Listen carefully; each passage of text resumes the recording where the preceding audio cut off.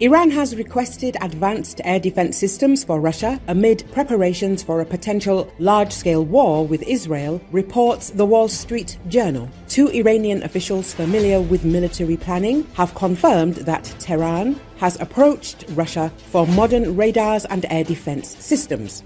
The report noted that former Russian Defense Minister Sergei Shoigu arrived in Iran, where he met with the country's new president Masoud Pezeshkian and Brigadier General Mohammad Bagheri, the Iranian military chief responsible for planning strikes against Israel. During the meeting, Pezeshkian expressed Iran's determination to deepen its relationship with Russia as a strategic partner Russia is among the countries that have stood by the Iranian nation during difficult times, the new president said.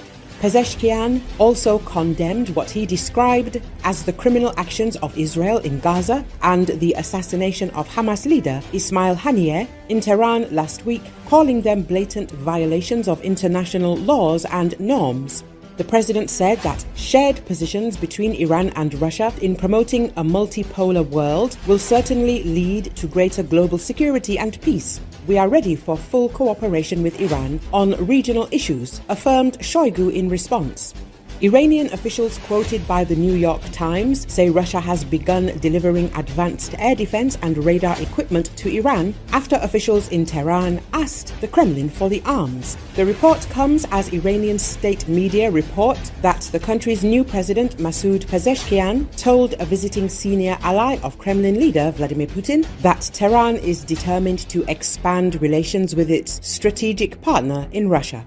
Russia is among the countries that have stood by the Iranian nation during difficult times, Pezeshkian told Sergei Shoigu, the secretary of Russia's Security Council, in a meeting, Iranian state media report. Recall last week, Israeli forces eliminated senior Hamas official Ismail Haniyeh and Hezbollah leader Fawad Shukur. In response, Iran has declared its readiness to launch a massive strike against Israel. The Israeli military is preparing for a multi day assault involving missiles and drones from Iran, Hezbollah militants in Lebanon, and Houthi rebels in Yemen. According to media reports, Iran is likely to attack Israel on August the 12th and 13th. Recently, Washington urged Iran to temper its retaliation for the killing of the Hamas leader, but Tehran rejected the offer.